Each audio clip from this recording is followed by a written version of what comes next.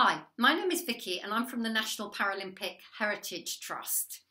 I'm going to share with you today something from our handling collection. It's a small red box, a wooden red box, with a very nice red velvet soft base. And in gold letters it says Beijing 2008 Paralympic Games with this really lovely logo from the 2008 Games.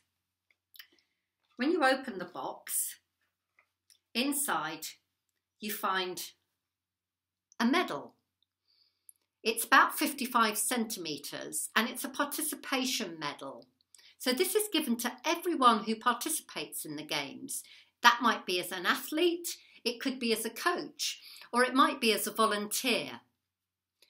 On here you can see this really lovely and it's a raised image of what was nicknamed the Bird's Nest, their very, very beautiful stadium used for both the Olympics and the Paralympic Games in Beijing in 2008.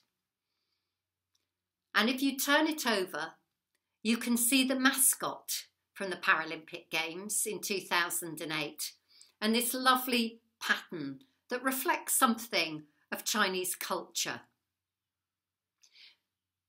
And on it written is One World, One Dream.